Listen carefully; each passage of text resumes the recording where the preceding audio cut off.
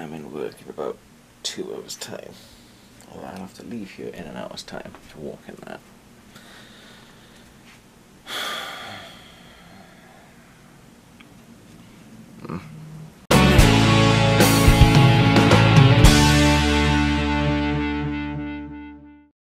Dance Webians.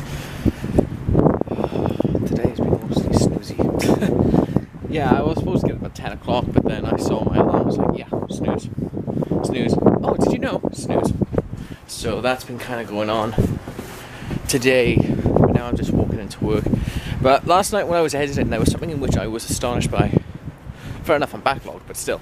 But uh, I realised that if I got this right, tomorrow, and I gotta check on the editor tonight, but tomorrow is gonna be 3,000 days that I have done vlogging on my channel, on this channel here alone, that I've done vlogging. And one, I'm fucking quite astonished by that, and two, you know, I'm happy to see that it lands within, you know, my goal of just basically doing these videos for 10 years and to stop because I didn't want to leave off knowing that I didn't do an extra, what's call it, mile, uh, a mileage on these vlogs when it's like, oh, it's nowhere near the next one. I know it's for the next one for when I reach 10 years. It's not going to be like 4,000 days and such like that. I know that for a fact. But for me to get to 3,000 days, that's still amazing. That's still an achievement for me right there. Got 3,000 days of oh, you're starting to.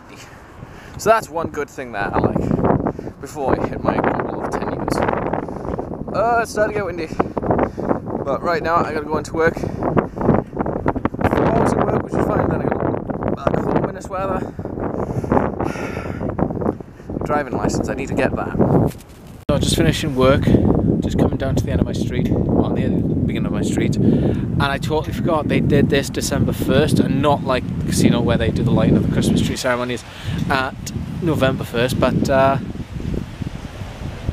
that's, I have to say, that's really quite, I mean, look at that, that's adorable, I like that, it's really nice. Oh, wow. See, now I can just walk a little bit like this in the snow, freezing cold, hold a bottle of wine, and just enjoy some of this. It seems so pretty. I just look at that. I know, fair enough, it's a little bit glazy because snow's going on the lens, but wow, really fucking nice. I like that. That's really cool. Oh yeah, that was a fun thing as well in which I gotta say I'm doing some backlogging now, so I'm nearly there with all of my videos, so I'm almost up to date. But uh, there was one thing in which happened in work today in which now I look at my schedule, I'm like, oh god, really, I forgot about that shit. Was, uh, well, the manager had asked me, pulled me to the side and said, listen, are you willing to change your schedule for Thursday because uh, we need to train the new assistant manager to work on closing stuff. She needs to know how to close. Would you be willing to volunteer and help out as well? I thought, yeah, okay, fine. I can work the closing shift. So I'm in at 5.30 to 10.30 on Thursday.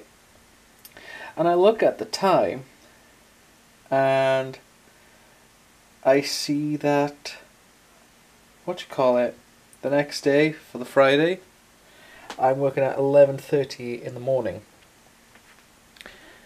So the fun thing is going to be when we close all together, I gotta walk home, get to bed, and be straight up tomorrow for that.